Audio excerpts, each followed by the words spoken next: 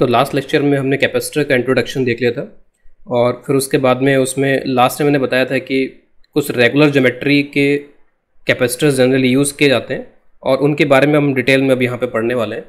तो सबसे पहले मैं यहाँ पे ले रहा हूँ पैरल प्लेट कैपेसिटर तो जितने भी ये कैपेसिटर्स हम पढ़ेंगे तो सबकी कैपेसिटेंस के जो फॉर्मूलेज हैं, वो फॉर्मूलेज भी हम यहाँ पर ड्राइव करेंगे। तो जैसे यहाँ पे नाम से क्लियर हो रहा है कि दो प्लेट्स यहाँ पर हैं और एक दूसरे के पैरेलल हैं।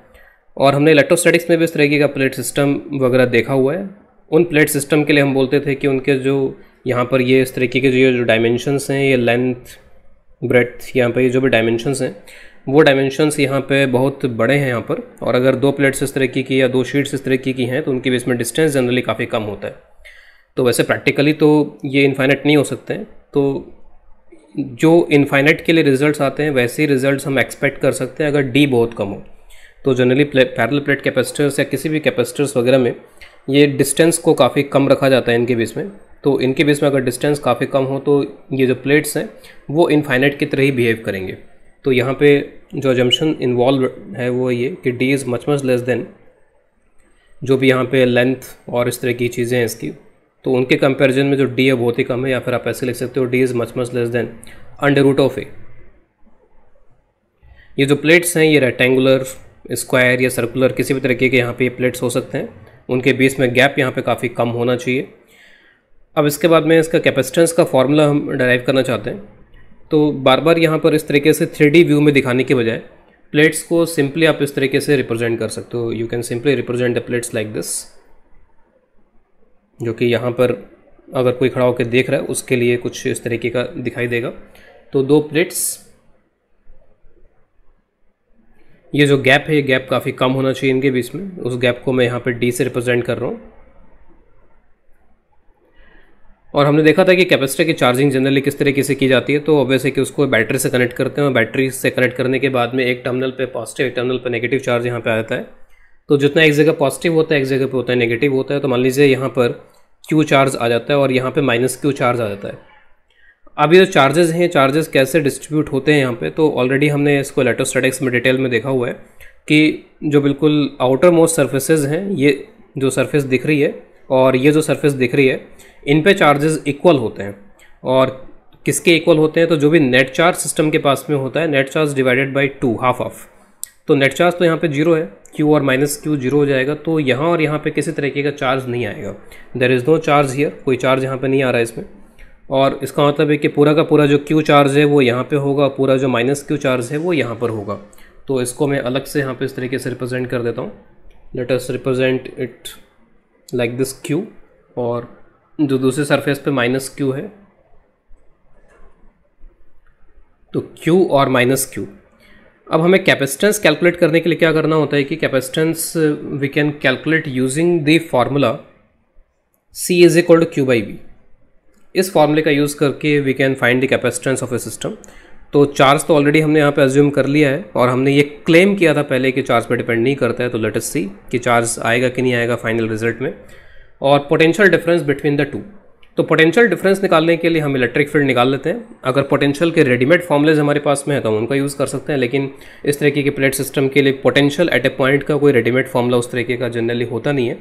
तो हम पोटेंशियल डिफरेंस फाइंड आउट करेंगे यूजिंग इलेक्ट्रिक फ़ील्ड तो इनके बीच में हम इलेक्ट्रिक फ़ील्ड कैलकुलेट कर लेंगे और उसका यूज़ करते हुए we can find the potential difference तो इलेक्ट्रिक फ़ील्ड अगर मैं कोई पॉइंट इन बिटवीन यहाँ पे लेता हूँ तो इस चार्ज की वजह से जो इलेक्ट्रिक फ़ील्ड आएगा वो इस डायरेक्शन में आएगा।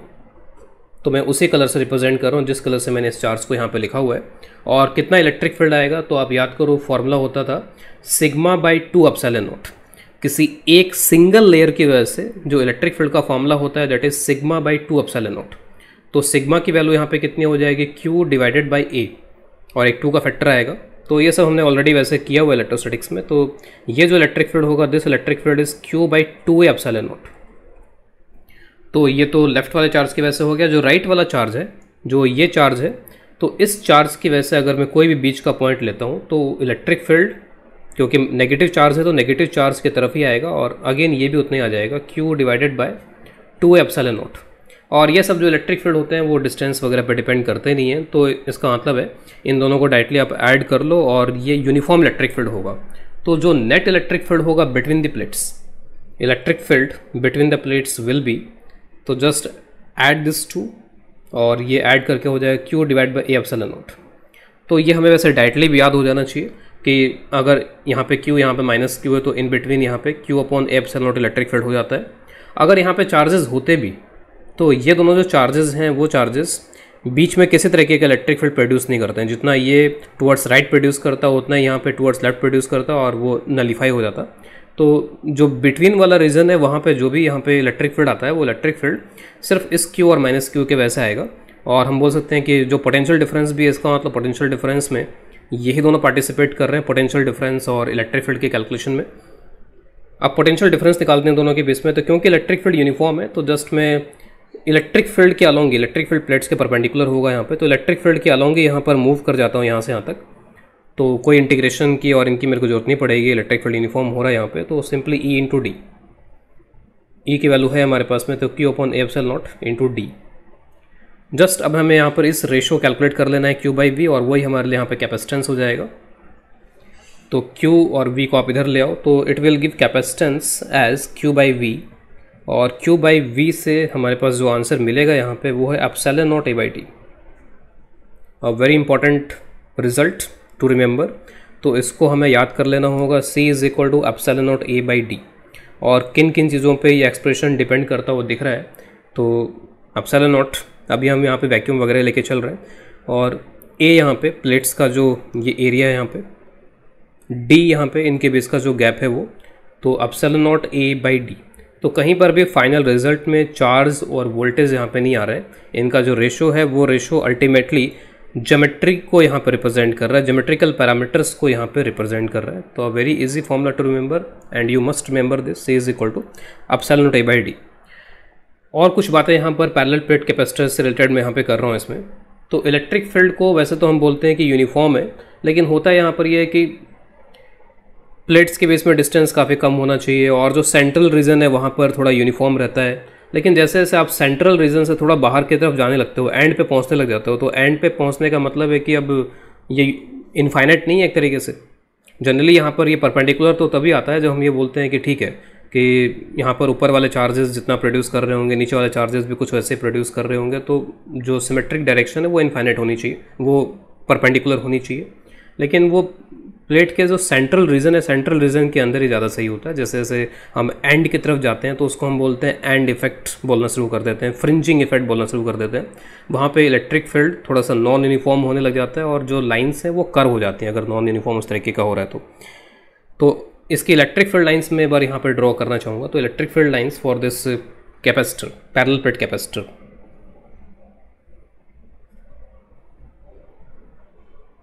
तो electric field lines ideally questions को सॉल्व करने के लिए हमारे माइंड में जो पिक्चर होती है, वो कुछ इस तरीके की रहेगी। लेकिन एक्चुअल में I should draw it here जो यूनिफॉर्मिटी है, वो थोड़े मिडिल रीजन में है। जैसे जैसे आप थोड़ा सा दूर जाते हो तो हल्की हल्की बैंडिंग होने स्टार्ट हो जाएगी यहाँ पे इसमें। आई एम अज्यूमिंग कि यहाँ पे प्लस क्यू चार्ज यहाँ पे माइनस तो यहाँ से लाइंस निकल यहाँ पे टर्मिनेट हो रही हैं।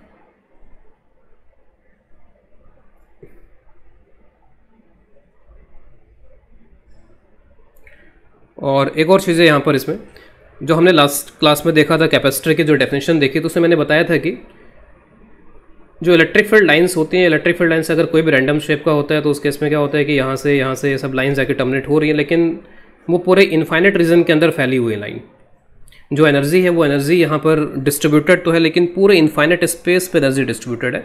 अब हमने यहाँ पर क्या कर दिया कि ऑलमोस्ट जो सारी एनर्जी है, वो प्लेट्स के बीच में ही है। ठीक है, हम इसी पिक्चर को माइंड में रखते हैं। तो ऑलमोस्ट जो सारी एनर्जी है, वो प्लेट्स के बीच में ही है। तो एक डेफिनेट स्पेस है। उस डेफिनेट स्पेस के अंदर ही हमने यहाँ पर एनर्जी को कन्फाइन कर दिया है। और अगर आप प्रैक्टिकल एस्पेक्ट के हिसाब से भी देखोगे तो ऐसा ही होना चाहिए कि जो एनर्जी है, वो एक पर्टिकुलर स्पेस के अंदर स्टोर होनी चाहिए, जिसको हम यूज़ कर पाएँ। इनफाइनेट स्पेस में एनर्जी स्टोर्ड है, उसका कोई फ़ायदा नहीं है हमारे लिए यहाँ पर। तो एनर्जी को हमने एक तरीके से कन्फाइन कर दिया। हमने जोमेट्रीज कुछ इस तरीके से यहाँ सेलेक्ट करी, कुछ ऐसा किया है कि एनर्जी को हमने कन्फाइन कर दिया है।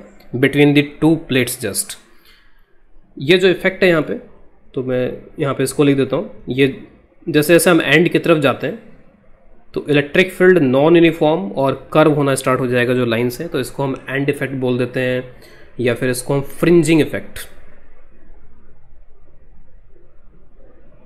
तो this effect is called end effect और फ्रिंजिंग इफ़ेक्ट तो नेक्स्ट टॉपिक लेते हैं। जो पैरल प्लेट कैपेसिटर है, उसके प्लेट्स के बीच में कितना फोर्स लगता है? यानी कि एक प्लेट जो है, दूसरे प्लेट पे कितना फोर्स यहाँ पे लगा रही होती है? तो सपोज़ ये एक प्लेट जिस पे प्लस क्यू चार्ज है और ये दूसरी प्लेट जिस पे माइनस क्यू चार्ज है यहाँ पे तो प्लस क्यू माइनस क्यू आप समझ जाओ कि प्लस क्यू माइनस क्यू कहाँ पर होंगे? तो ये इनर फेसिंग सर्फेसिस पे ही रहते हैं प्लस और माइनस तो ये जो प्लेट है, इस प्लेट पे कैसे फोर्स लगा रही होगी? ऑब्वियसली अट्रैक्टिव फोर्स और ये भी उतना अट्रैक्टिव फोर्स इसके ऊपर लगा रही होगी। तो फोर्सेज मस्ट भी अट्रैक्टिव जैसे प्लस माइनस साइन से यहाँ पे दिख रहा है। लेकिन कितना होगा फोर्स तो फोर्स निकालने के लिए, अब वैसे तो नेट इलेक्ट्रिक फ़ील्ड होता है क्यू अपन ए एप्सल नोट लेकिन जब मैं इस पर फोर्स निकालूँगा ड्यू टू दिस प्लेट तो मुझे ऐसा करना चाहिए कि इसकी वजह से यहाँ पे कितना इलेक्ट्रिक फ़ील्ड प्रोड्यूस हो रहा है, सिर्फ़ मैं उतना ही लिखूँ यहाँ पे। तो सिर्फ़ एक प्लेट की वजह से एक दूसरे प्लेट पे कितना इलेक्ट्रिक फ़ील्ड उस लोकेशन पे प्रोड्यूस होगा तो वो इलेक्ट्रिक फ़ील्ड होता है Q upon two epsilon naught आधा आधा हो जाता है। तो ये तो इलेक्ट्रिक फ़ील्ड है यहाँ पर, इस प्लेट की वजह से, या उल्टा ही बोल सकते हैं कि इस प्लेट की वजह से यहाँ पे जो इलेक्ट्रिक फ़ील्ड है वो है Q Q divided by two epsilon naught और इलेक्ट्रिक फ़ील्ड यूनिफॉर्म टाइप का ही है, और उसको आप यहाँ पे चार्ज से मल्टीप्लाई कर दो जस्ट यहाँ पे फोर्स निकालने के लिए। तो electric field multiplied by charge तो चार्ज इज़ क्यू तो इससे ये फोर्स कैलकुलेट हो जाएगा। This force is Q square divide by two epsilon naught obvious है कि दिस फोर्स इज़ अट्रैक्टिव तो समटाइम्स हमें ये सिचुएशन दी जाती है कि दो प्लेट्स दोनों प्लेट्स पे चार्जेस डिफरेंट डिफरेंट है तो उनको कुछ ऐसे चार्ज करके लाया गया होगा और एक दूसरे के नज़दीक ला रखा गया होगा और उन पर उस समय पे चार्ज हो सकता है कि डिफरेंट हो। इसको कहीं और से चार्ज किया, इसको कहीं और से चार्ज किया और फिर चार्ज मान लीजिए कि इन पर डिफरेंट हो गया। और इनको कंबाइन करके अब मैं कैपेसिटर बना रहा हूँ। तो चार्जेस अगर डिफरेंट हैं, तब यहाँ पर हम अब जो कैपेसिटर की डेफिनेशन है हमारी, वो डेफिनेशन यहाँ पर अब किस तरीके से इस्तेमाल होगी, क्या होगा? तो सपोज़ इस पर क्यू वन चार्ज इस पर क्यू टू चार्ज यहाँ पर तो पहले तो आप चार्जेस को यहाँ पे डिस्ट्रीब्यूट कर लो, जो हमने इलेक्ट्रोस्टैटिक्स में सीखा हुआ उसके अकॉर्डिंगली तो जो नेट चार्ज होता है, उसका हाफ़ हाफ़ यहाँ पे दोनों साइड पे आता है। तो Q one plus Q two by two net charge का half Q one plus Q two by two और यहाँ पे चार्ज तो चार्ज कंजर्वेशन करते हुए टोटल चार्ज क्यू वन होना चाहिए इस प्लेट पे तो यहाँ पे चार्ज आएगा। वो चार्ज हो जाता है Q one minus Q two by two और ये चीज़ हमेशा वैलिड रहेगी कि जितना चार्ज यहाँ पर है, उसका जस्ट नेगेटिव या अपोजिट चार्ज यहाँ पर होना चाहिए। तो it is negative of Q one minus Q two by two just for the sake of convenience मैं ऐसा करता हूँ कि इस चार्ज को मैं प्लस क्यू बोल देता हूँ और फिर इस चार्ज को मैं माइनस क्यू बोल दूँगा यहाँ पर। और अगेन मैं अब वापस से वही डेफिनेशंस और उस तरह से यूज़ करता हुआ इलेक्ट्रिक फ़ील्ड निकालता हूँ और पोटेंशियल डिफरेंस और कुछ इस तरह से निकालने की कोशिश करता हूँ, देखता हूँ कि इसका कैपेसिटेंस क्या आना चाहिए। तो यहाँ पे पोटेंशियल डिफरेंस के लिए पहले इलेक्ट्रिक फ़ील्ड निकाल लेते हैं। तो इलेक्ट्रिक फ़ील्ड के जो वैल्यू आएगी, अभी भी आप देख सकते हो कि भले ही यहाँ पर और यहाँ पर चार्जेस हैं, लेकिन ये दोनों चार्जेस प्लेट्स के बीच वाले रीजन में कोई इलेक्ट्रिक फ़ील्ड यहाँ प्रोड्यूस करते नहीं है। तो यहाँ पे जो इलेक्ट्रिक फ़ील्ड आएगा, वो इस क्यू और माइनस क्यू के वजह से आएगा, क्योंकि ये दोनों सेम डायरेक्शन में इलेक्ट्रिक फ़ील्ड प्रोड्यूस करेंगे किसी पॉइंट पर जो कि बीच में पॉइंट है यहाँ पर। लेकिन ये दोनों अपोजिट करते हैं, इसके वजह से इनका कैंसिल हो जाता है। तो क्यू और माइनस क्यू हम ऑलरेडी देख चुके हैं कि इलेक्ट्रिक फ़ील्ड दोनों का मिला करके आएगा Q upon A epsilon not उसके बाद में जब आप यहाँ पे पोटेंशियल डिफरेंस लिखोगे दोनों प्लेट्स के बीच में तो सिंपली ई इंटू डी हो जाएगा, और ये Q by A epsilon naught into D हो गया। अब अगर आप यहाँ पे क्यू बाई वी कर दो तो क्यू बाई वी कर दो तो आपको वही रिज़ल्ट वापस से मिल जाएगा एप्सलोट ए बाई डी जो कि कैपेसिटेंस आया था, यहाँ पर एक दो पैरेलल प्लेट्स थी। तो दो पैरेलल प्लेट्स का जो सिस्टम था, उससे कैपेसिटेंस का जो फॉर्मूला हमने अर्लियर ड्राइव किया था, वही वही फॉर्मूला यहाँ पर वापस से आ रहा है। लेकिन अब हमें इस इक्वेशन को थोड़ा सा समझ जाना होगा कि यहाँ पे Q is equal to C V आखिर क्या रिप्रेजेंट कर रहा है। तो Q यहाँ पे रिप्रेजेंट कर रहा है charge on the inner facing surfaces क्योंकि एक तरीके से वही इलेक्ट्रिक फ़ील्ड में पार्टिसिपेट कर रहे हैं बिटवीन द प्लेट्स वही पोटेंशियल डिफरेंस के कैलकुलेशन में पार्टिसिपेट कर रहे हैं। ये दोनों जो चार्जेस हैं ये दोनों चार्जेस एक तरीके से स्टैटिक पड़े हुए हैं। इनका कोई भी इफ़ेक्ट यहाँ पर इन बिटवीन नहीं हो पा रहा है यहाँ पे। तो एक तरीके से in some sense this charges are useless Q one plus Q two by two as it is यहाँ पड़े रहेंगे। इवन आप, अगर आप इसको बैटर से कनेक्ट करते हो वी वोल्ट बैटर से कनेक्ट करते हो तो अल्टीमेटली यहाँ पर इनर फेसिंग सर्फेसेस पर जो चार्जेस होने चाहिए plus C V minus C V हो जाने चाहिए, क्योंकि अल्टीमेटली वही पोटेंशियल डिफरेंस को कंट्रोल कर रहे हैं। ये चार्जेस एज इट इज़ रहेंगे। हम लोग कुछ प्रॉब्लम्स भी लेंगे इस तरीके की, लेकिन at this time you just remember कि जो क्यू चार्ज है this charge is on inner facing surfaces तो जब भी हम यहाँ पर इस कैपेसिटर में यहाँ पर चार्जेस की यहाँ पर बात करेंगे तो इसका मतलब वो हमेशा इनर फेसिंग सर्फेसिस की चार्ज होंगे। तो on inner facing surfaces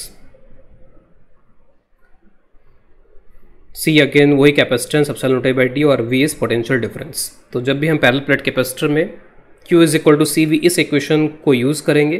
तो Q हमेशा यहाँ पे रिप्रेजेंट करेगा। Charges on the inner facing surfaces again वही कैपेसिटेंस का फॉर्मूला है। उसी से पोटेंशियल डिफरेंस इस तरह से रिलेटेड हो।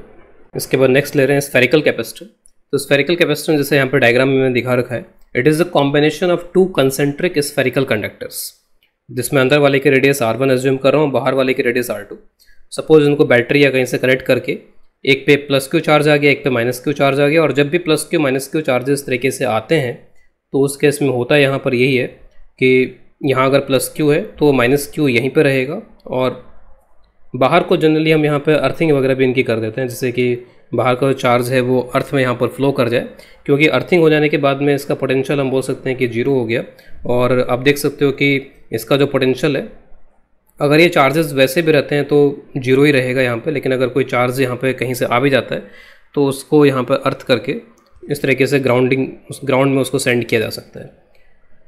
तो अब यहाँ पर इसका कैपेसिटेंस कैलकुलेट करने के लिए वापस से वही बात है C is equal to Q divided by potential difference potential difference को मैं ऐसे लिख लेता हूँ यहाँ पे ए और बी अगर मैं लिख रहा हूँ इसको तो Q divide by V A minus V B तो अगर मैं वी ए कैलकुलेट करना चाहता हूँ यहाँ पे तो वी ए आप डायरेक्टली वी कैलकुलेट कर सकते हो इसमें, क्योंकि हमारे पास में स्फेयर के केसेस में पोटेंशियल कैलकुलेट करने के डायरेक्ट फॉर्मूलेज होते हैं।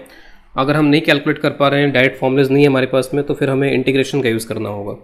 तो यहाँ पे बिना इंटीग्रेशन के भी आप इसको कर सकते हो। तो वी ए यहाँ पर हो जाएगा। एक तो खुद के चार्ज की वजह से और एक बाहर के माइनस क्यू की वजह से। तो खुद के चार्ज की वजह से one upon four pi epsilon naught this Q divide by R one और इस चार्ज की वजह से हो जाएगा Q divide by four pi epsilon naught R two V B अगर मैं लिखना चाहूँ यहाँ पे तो वैसे तो ज़ीरो है ही यहाँ पर ये, लेकिन अगर फिर भी एक बार यहाँ पर लिखना चाहें कंफर्म करने के लिए तो खुद के चार्ज की वजह से और इस चार्ज की वजह से। तो one upon four pi epsilon naught इस चार्ज की वजह से Q divide by R two क्योंकि बाहर का पॉइंट है, और खुद के चार्ज की वजह से Q divide by four pi epsilon naught R two तो इट इज़ ज़ीरो तो इन सब की वैल्यूज़ अगर मैं यहाँ पर रख दूँ तो C is equal to this Q divided by uh, take this common. Q divided by 4 pi epsilon naught is common. 1 by r1 minus 1 by r2 this q will be cancelled and final answer will be 4 pi epsilon naught r1 r2 divided by r2 minus r1 so again we should remember this formula of capacitance for this spherical capacitor 4 pi epsilon naught r1 r2 divided by r2 minus r1 this formula has to be remembered और इसमें भी आप देख सकते हो जो energy है, वो एनर्जी इस कम कन्फाइंड रीजन के अंदर ही है, यहाँ से लाइंस निकल रही हैं और यहाँ पे टर्मिनेट हो रही हैं। तो energy is confined in this region between the capacitors between the conductors only इस फॉर्मूले से related we can take some special cases पहला स्पेशल केस मैं यहाँ पे ले रहा हूँ। तो we are going to take some special cases related to this formula number one suppose जो आर टू है, वो आर वन के कंपेरिजन में बहुत बड़ा है। एक तरीके से इनफाइनाइट पर है। तो आर टू अगर आर वन के कंपेरिजन में बहुत बड़ा है तो उस केस में जो फॉर्मूला हमारे पास में यहाँ पे आएगा तो आर टू बहुत बड़ा है तो आप यहाँ पर आर वन को नेगलेक्ट कर दो यहाँ से। आर टू को आर वन को अगर आप यहाँ से नेगलेक्ट करते हो तो आर टू बचता है, और आर टू फिर आर टू के साथ कैंसिल हो जाएगा तो finally we will get four pi epsilon naught R one और ये जो सिचुएशन है, इसको आप फिजिकली ऐसा ही बोल सकते हो कि लाइंस जो हैं, जैसे लाइंस यहाँ से निकल रही हैं, और वो इन फाइनाइट पे जाके टर्मिनेट हो रही हैं। तो अगर मान लीजिए यहाँ पर ये नहीं भी होता, अगर बी नहीं भी होता यहाँ पर तो तब भी अगर मैं इसको अगर अकेला छोड़ देता तो ये जो लाइंस थी वो इन्फिनिटी पे जाकर टर्मिनेट होती। तो कई बार हम इसको बोल देते हैं कि ये जो केस है वो एक तरीके से एक सिंगल आइसोलेटेड कंडक्टर को रिप्रेजेंट कर रहा है। कि अगर सिर्फ़ यही होता, तब भी हम इसके लिए कैपेसिटेंस इस तरीके से डिफाइन कर सकते थे। तो it is like it is like an isolated conductor एक आइसोलेटेड कंडक्टर की तरह पे यहाँ पे बिहेव कर रहा है। बस एक कंडक्टर हमने यहाँ पे छोड़ दिया है, कुछ चार्ज दे करके उसको। और उसका अगर रेडियस अगर मान लीजिए यहाँ पे आर है सिंपली तो इसका जो कैपेसिटेंस है वो इसके बराबर ही आ जाएगा फोर पे एप्सोलट इंटू आर यहाँ से लाइन्स निकलेंगे और वो लाइन कहाँ पर जाकर टर्मिनेट हो रही है? इन्फिनिटी पर जाकर टर्मिनेट हो रही है लाइन सी तो एक तरीके से इसका जो दूसरा कंडक्टर है वो इन्फिनिटी पर रखा हुआ है, या कह लीजिए रखा ही हुआ नहीं है वो। तो C is equal to four pi into R और आप डायरेक्टली भी इसको कैलकुलेट कर सकते हो simply C is equal to Q by V यानी कि इसका पोटेंशियल माइनस जो इन्फिनिटी पे रखा हुआ उसका पोटेंशियल तो उसका पोटेंशियल तो वैसे ही ज़ीरो है क्योंकि वो इन्फाइनाइट पे है एक तरीके से। तो एक तरीके से v माइनस ज़ीरो है, उसको आप यहाँ पे सिंपली आप v लिख सकते हो। तो q बाई वी तो जब भी एक आइसोलेटेड कंडक्टर हमें डायरेक्टली दे दिया जाए तो उसके अकेले का कैपेसिटेंस भी आप यहाँ पर डिफाइन कर सकते हो C is equal to Q by V लेकिन आप देखोगे कि एक आइसोलेटेड जो कंडक्टर होता है, उसका कैपेसिटेंस कम हो गया। C is equal to simply Q by V और वहाँ पर एक तरीके से जो माइनस ज़ीरो आ गया, अगर वो आइसोलेटेड है उस केस में तो। तो v माइनस ज़ीरो यहाँ पर आ जाएगा इस केस में। लेकिन अगर मान लीजिए वो इसके पास में होता तो उसके नेगेटिव चार्ज की वजह से कुछ नेगेटिव पोटेंशियल कुछ माइनस होता है यहाँ पर इसमें। वी माइनस वी भी कुछ ऐसा बनता है यहाँ पे। तो कैपेसिटेंस बढ़ जाता। इसीलिए कैपेसिटेंस बढ़ाने के लिए ज़्यादातर हम क्या करते हैं कि इसके साथ में एक नेगेटिव भी यहाँ पर एक दूसरा कंडक्टर भी पास में रखते हैं, जिससे कि एक पॉजिटिव पोटेंशियल हो, उसमें से नेगेटिव पोटेंशियल माइनस हो जाए वहाँ से तो उसके वजह से नीचे का जो नेट पोटेंशियल डिफरेंस है वो कम हो जाता है और सी बढ़ जाता है। तो इसीलिए सिंगल आइसोलेटेड का यूज़ जो है प्रिफरेबल नहीं है यहाँ पे। जस्ट मैथमेटिकली यहाँ पर हम इन चीज़ों को देख सकते हैं इसमें। तो एक तो केस यहाँ पर ये हो गया, जिसमें रेडियस बहुत बड़ी है तो हम एक तरीके से बोल सकते हैं कि this is behaving like isolated conductor only और उस आइसोलेटेड कंडक्टर के लिए डायरेक्टली हम इस फॉर्मूले को यूज़ कर सकते हैं C is equal to Q by V इसके अलावा, आप अगर इस फॉर्मूले को अगर आप डायरेक्टली यूज़ करके देखो, तब भी आपको ये मिल जाएगा क्यू डिवाइड बाय अब पोटेंशियल सिर्फ़ इसके वैसे ही होगा यहाँ पे। तो इसका खुद का जो पोटेंशियल है, वो कितना हो जाएगा? के क्यू बाई आर तो अगर मैं लिखूँ तो ये हो जाएगा फोर पैसल और टू आर तो आप डायरेक्टली इस फॉर्मूले का यूज़ करके ये रिज़ल्ट ला सकते हो इस तरीके का। इसका दूसरा स्पेशल केस मैं यहाँ पे ले रहा हूँ। अब ये बिल्कुल कॉन्ट्रास्टिंग केस हो जाएगा, दूसरा केस जो होगा इसमें नंबर टू सपोज़ इन दोनों के बीच में जो गैप है, वो गैप बहुत ही कम है। यानी आर वन आर टू जो है, वो ऑलमोस्ट इक्वल है, कुछ इस तरह की situation this gap is very narrow R two and R one are nearly equal इनमें बहुत ही छोटा सा डिफरेंस है, मान लीजिए। कुछ तो डिफरेंस हो गई। R two minus R one जो है, वो एक तरीके से डी के बराबर है। D is the gap between the two और आर टू और आर वन को आप नियरली आर के बराबर मान लो। तो अगर मैं इस अप्रोक्सीमेशन में कैपेसिटेंस का फॉर्मूला कैलकुलेट करूँ यहाँ पे तो आपको एक बहुत ही सरप्राइजिंग रिज़ल्ट मिल सकता है इसमें। Four pi epsilon naught R one R two R one और आर टू दोनों नियरली इक्वल हैं तो आर स्क्वायर कर देंगे इसको तो four pi epsilon naught R square divided by R two minus R one को मैंने यहाँ पर डी से रिप्रेजेंट कर दिया इसके अंदर। और आप इसको अब इस तरीके से रिप्रेजेंट कर लो epsilon naught four pi R square by D now this four pi R square is surface area एक तरीके से दोनों का सरफेस एरिया जो है, वो ऑलमोस्ट ऑलमोस्ट यहाँ पर इक्वल है। तो surface area of both are almost equal तो this term is surface area और ये एप्सलॉट ए बाई डी तो ये जो फॉर्मूला है, कैसे आ रहा है बिल्कुल? पैरल प्लेट कैपेसिटर के तरह। It is like parallel plate capacitor तो अगर गैप बहुत ही कम है इनके बीच में तो ये पैरल प्लेट्स ही हैं, जैसे यहाँ पर पैरल बस ये घूमती हुई पैरल प्लेट्स आप बोल सकते हो। ये पैरल इस तरीके से आपस में नियरली पैरल इस तरीके से चल रहे हैं यहाँ पर ये। और दोनों सर्फेसिस का area nearly four pi r square के बराबर है। तो exactly it is similar to parallel plate capacitor in this approximation इसके बाद नेक्स्ट ले रहे हैं सिलेंड्रिकल कैपेसिटर तो it is a combination of two conducting coaxial cylinders जैसा डायग्राम में दिख रहा है इनर रेडियस यहाँ पे मैंने ए लिया हुआ है आउटर रेडियस यहाँ पे बी लिया हुआ है। सपोज़ मैं इसको ए बोल देता हूँ this is A and this is B और जो भी इनकी चार्जिंग इस तरीके से की गई है कि यहाँ पे कुछ प्लस क्यू चार्ज इस पूरे पे डिस्ट्रीब्यूट हो गया और यहाँ पे माइनस क्यू चार्ज यहाँ पे डिस्ट्रीब्यूट हो गया इसके अंदर। और अगेन क्यू बाई वी करके we can find the capacitance लेकिन उसके लिए मुझे इलेक्ट्रिक फ़ील्ड यहाँ पे निकालना पड़ेगा क्योंकि इस तरीके के सिस्टम के लिए हमारे पास में कोई रेडीमेड फॉर्मूला ऐसा होता नहीं है तो हमें इलेक्ट्रिक फ़ील्ड यहाँ पे कैलकुलेट करना पड़ेगा इसमें। और ऑलरेडी हमने इलेक्ट्रोस्टैटिक्स में ऐसे सिलेंडर के लिए कैलकुलेशंस कर रखी हैं तो वही कैलकुलेशन, उसी तरह कैलकुलेशन यहाँ पे भी रिपीट होगी। एक गॉसन सरफेस आप इस तरीके की यहाँ पे ले सकते हो। सिलेंड्रिकल गॉसन सरफेस, जिसकी जो रेडियस है, वो रेडियस यहाँ पर आर के बराबर हो जाए। तो आर के बराबर रेडियस वाला यहाँ पर ये आप लेकर के कैलकुलेशंस करके दिखा सकते हो। तो जस्ट मैं उसको उतने डिटेल में नहीं जा रहा हूँ। जस्ट मैं इस कैलकुलेशन को ऐसे लिख सकता हूँ E into two pi r अगर ये लेंथ एल है तो आर एल और आप एक यहाँ पे लीनियर चार्ज डेंसिटी डिफाइन कर सकते हो कि पर unit length of the cylinder क्योंकि जो चार्ज हो तो सरफेस पे है सिर्फ़ यहाँ पे। तो जैसे मान लीजिए आप इतनी लेंथ का सिलेंडर लेते हो और फिर आप इससे डबल लेंथ का अगर सिलेंडर यहाँ पे कहीं जाके ले लो तो आपको डबल चार्ज मिलेगा। तो आप लेंथ वाइज भी यहाँ पर डिफाइन कर सकते हो यहाँ पर इसको। तो दिस विल बी ये तो हो गया फ्लक्स और ये हो जाएगा lambda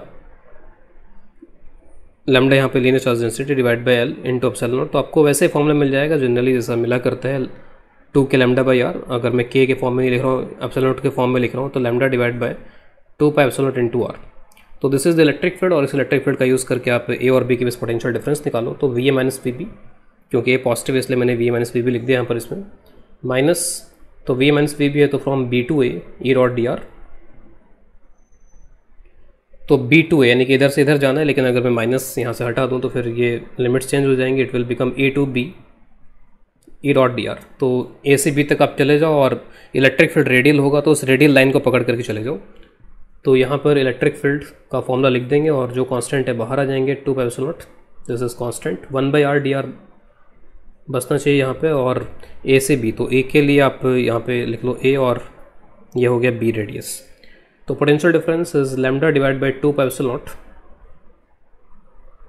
L N B by A lambda को you can write Q by L two pi epsilon naught L N B by A potential difference हो गया क्यू बाई वी करेंगे तो it will give the capacitance तो C is equal to Q by V तो this Q by V is two pi epsilon naught L L N B by A sometimes a quantity is also defined called capacitance per unit length तो यहाँ से अगर मैं सी by L define करूँ तो ये हो जाएगा two pi naught L N B by A. This is called capacitance per unit length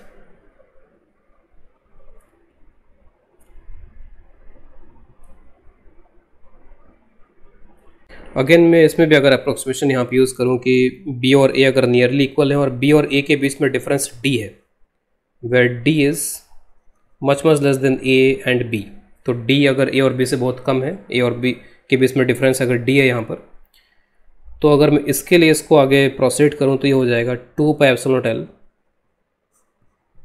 B की जगह पे आप लिख सकते हो ए plus D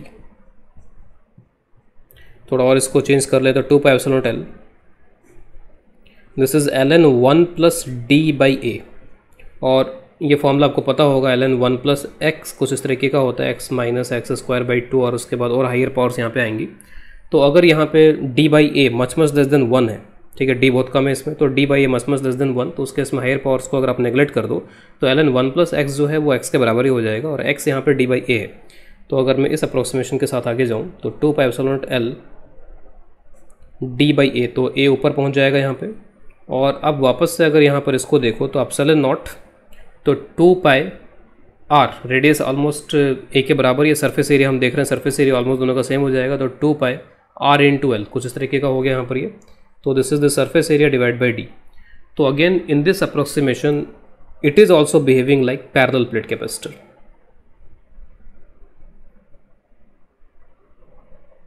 now am going to take some problems here तो इसमें यहाँ पर एक कैपेसिटर और एक बैटरी यहाँ पर कनेक्टेड है। बैटरी का जो ई e है, वो वी के बराबर है। कैपेसिटर का सर्किट में सिंबल कुछ इस तरीके से होता है, जहाँ पे दो पैरेलल लाइनें हम यहाँ पे दिखा देते हैं। जिनका लेंथ हम बराबर बनाने की कोशिश करते हैं। बैटरी से डिफरेंट बैटरी में लेंथ अनइक्वल दिखाते हैं यहाँ पे और इसमें लेंथ को इक्वल करके दिखाया जाता है। इसके बाद में तो इस क्वेश्चन में ये कह रहा है कि एक अनचार्ज कैपेसिटर इसको बैटरी से कनेक्ट कर दिया गया है सब कुछ आपको यहाँ पे दे दिया गया है तो you have to find the work done by the battery तो हमने ये पहले भी देखा हुआ है कि अगर कैपेसिटर है उसको अगर आप बैटरी से कनेक्ट करते हो तो अल्टीमेटली होता ये है कि कैपेसिटर की जो दो प्लेट्स हैं, इन दोनों प्लेट्स के बीच में पोटेंशियल डिफरेंस अल्टीमेटली बैटरी के ई e क्योंकि यहाँ पर इंटरनल रेजिस्टेंस की तो बात हो नहीं रही है और डायरेक्टली कनेक्टेड है यहाँ पर ये इस बैटरी के साथ में। तो directly connected just single capacitor यहाँ पर ये तो अल्टीमेटली बैटरी के ई e या पोटेंशियल डिफरेंस के बराबर हो जाता है, इसके अक्रॉस पोटेंशियल डिफरेंस और एक कैपेसिटर पर अगर पोटेंशियल डिफरेंस अगर वी के बराबर हो जाए तो चार्ज फिर कितना हो जाता है? सी के बराबर। तो ये जो कैपेसिटर जो पहले अनचार्ज था, अब इसके ऊपर जो चार्ज है वो सीवी के बराबर हो जाएगा। और जब हम बोलते हैं चार्ज सी के बराबर हो जाएगा तो एक जगह प्लस सीवी और एक जगह पे माइनस सीवी चार्ज यहाँ पर आएगा इसमें। तो plus CV and minus CV charge obviously कि जो पॉजिटिव टर्मिनल से कनेक्टेड है वहाँ पे प्लस सीवी और जो नेगेटिव टर्मिनल से कनेक्टेड है वहाँ पे माइनस सीवी तो चार्जेस जो फाइनली यहाँ पर होंगे प्लस माइनस सीवी यानी ऐसा दिखाने का मतलब ये है कि इस पर प्लस सी वी ऐसा माइनस सी वी है। अल्टीमेटली चार्ज जाता कहाँ पर है? तो ये इनर फेसिंग सर्फेसेस पे चार्ज रहता है आउटर सर्फेसेस पे चार्ज नहीं होगा यहाँ पे, क्योंकि एक जगह प्लस सी एक जगह माइनस से भी है तो नेट चार्ज तो ज़ीरो है तो zero by two zero by two होगा यहाँ पे। अब आप देखो कि यहाँ पर पहले ज़ीरो चार्ज था। तो इसका मतलब है कि बैटरी से के पॉजिटिव टर्मिनल से इस डायरेक्शन में प्लस सी चार्ज गया होगा। तो जब भी बैटरी के पॉजिटिव टर्मिनल से पॉजिटिव चार्ज फ्लो होता है बाहर की तरफ़ तो हम बोलते हैं कि work done by the battery है ये। तो work done by the battery is Q into V Q यहाँ पे कितना कितना चार्ज फ्लो कर रहा है बैटरी के थ्रू सी वी तो answer will be C V square this much work is done by the battery इसी में डिफरेंट डिफरेंट केसेस ले रहा हूँ यहाँ पे। सपोज़ एक कैपेसिटर है जो पहले से थोड़ा सा चार्ज है यहाँ पे। अभी हमने इसे, इसको क्लोज नहीं किया है। तो पहले से कहीं से हमने इसको चार्ज किया होगा और चार्ज करके यहाँ पे ला के रख दिया। और अब इस सर्किट में उसको कनेक्ट कर दिया गया। जहाँ पे एक बैटरी कनेक्टेड है जो कि वी वोल्टेज की है या वी ई की है।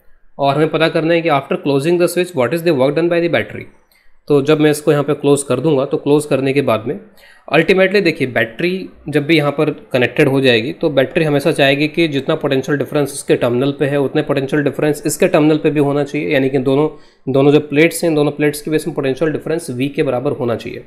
कैपेसिटेंस की वैल्यू सी के बराबर है यहाँ पर इसमें। लेकिन आपको दिख रहा होगा साफ़ साफ़ कि पोटेंशियल डिफरेंस वी नहीं है यहाँ पर। पोटेंशियल डिफरेंस वी होने का मतलब होता है कि चार्ज प्लस से माइनस से भी होना चाहिए। तो पहले से चार्ज है यहाँ पर इसमें और अब यहाँ पर जो चार्जेस के फ्लो होंगे फाइनली यहाँ पर क्या होगा कि चार्जेस प्लस सी और माइनस सी हो जाएँगे इसमें। तो अगर मैं फाइनल डायग्राम को यहाँ पर ड्रॉ करूँ तो अल्टीमेटली जो चार्ज यहाँ पर कैपेसिटर के प्लेट्स पे होगा, वो plus C and minus C होगा अल्टीमेटली और ये सारे चार्जिंग की फ्लो यहाँ पर हो रही है, उसमें जो टाइम लगता है that is fraction of seconds ठीक है? नैनो सेकेंड ऑर्डर का टाइम लगता है यहाँ पे, बहुत कम समय लगता है। बाद में हम रेजिस्टेंस वगैरह भी इंक्लूड करेंगे कि कुछ फाइनाइट रेजिस्टेंस है सर्किट का, और फिर जो समय है वो फिर वो थोड़ा सा बढ़ जाएगा इसके चार्जिंग का। लेकिन चार्जिंग यहाँ पर जो हो रही है अभी फ़िलहाल, बहुत ही कम समय में हो रही है। ऑलमोस्ट आप मान सकते हो कि जैसे हमने स्विच क्लोज़ किया ऑलमोस्ट ये पूरी चार्जिंग हो गई, जहाँ तक होनी थी इसमें। तो यहाँ पे प्लस से माइनस से भी चार्जेस अल्टीमेटली आ गए हैं।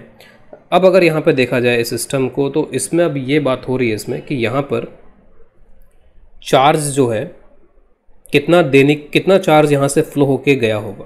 तो आप चार्ज का हिसाब किताब लगा लो सी बाई टू और सी वी तो इसका मतलब यहाँ से जो चार्ज फ्लो होके गया है, वो जस्ट सी बाई टू है, पहले से सी बाई टू था और एक्स्ट्रा कितना फ्लो कराना पड़ेगा बैटरी के थ्रू सी बाई टू के बराबर। तो इस केस में जो वर्क डन बाई बैटरी होगा that will be charge is C by two into V C V square by two. आप देख सकते हो एफर्ट कम है यहाँ पर इसमें। पिछले वाले में एफर्ट या बैटरी का जो वर्क डन था, वो सी वी स्क्वायर था। अब के बार बैटरी का एफर्ट थोड़ा सा रिड्यूस हो गया। C V square by two हो गया डिपेंडिंग अपॉन कि इसके पास पहले से कितना चार्ज था। लेटेस्ट अज्यूम कि अगर इसके पास से पहले से plus C minus C V charge था और फिर मैं बैटरी कनेक्ट करूँ तो फिर बैटरी को फ़र्क ही नहीं पड़ेगा कुछ भी। बैटरी ये देखेगी कि इसके पास तो पहले से इतना चार्ज है, यहाँ पर जितना चाहिए। तो पोटेंशियल डिफरेंस वी के बराबर, फिर यहाँ पोटेंशियल डिफरेंस वी के बराबर there will be no charge flow in that case battery कुछ भी नहीं करना पड़ेगा, अगर पहले से प्लस ए माइनस भी चार्ज है तो। नेक्स्ट एग्ज़ाम्पल ले रहे हैं अगर इसमें। तो थोड़ा सा अगेन मैंने सिचुएशन को चेंज किया। अब के बार यहाँ पे माइनस ए प्लस भी चार्ज है और बैटरी से कनेक्ट करने वाले स्विच को क्लोज करते हुए। तो वर्क डन बाय बैटरी बताना है। तो पहले से चार्ज कुछ भी हो यहाँ पर अल्टीमेटली फाइनली क्या होने वाला है? फाइनली यही होगा। Plus C V and minus C V आप पहले से कुछ भी करके रख लो अल्टीमेटली होना तो यही है। Plus C V and minus C V और अब यहाँ पे बैटरी के थ्रू कितना चार्ज फ्लो कराना पड़ेगा? तो बैटरी के थ्रू जो चार्ज फ्लो कराना है, वो तो है यहाँ पर कि माइनस सी वी था। माइनस सी वी इस प्लेट पे था और अब वो किसमें कन्वर्ट हो गया प्लस सी में कन्वर्ट हो गया तो इसका मतलब यहाँ पर यह है कि बैटरी से होते हुए जो चार्ज यहाँ पर गया वो है टू सी वी ठीक है? पहले से कितना चार्ज था? क्यू इनिशियल प्लस कितना चार्ज फ्लो हुआ, एक तरीके से ये हो जाएगा क्यू फाइनल तो यहाँ से भी आप देख लो Q final minus Q initial तो Q final is plus C V Q initial is minus C V तो two C V charge flow कराने की ज़रूरत है यहाँ पर। वर्कडन कितना करने की ज़रूरत है?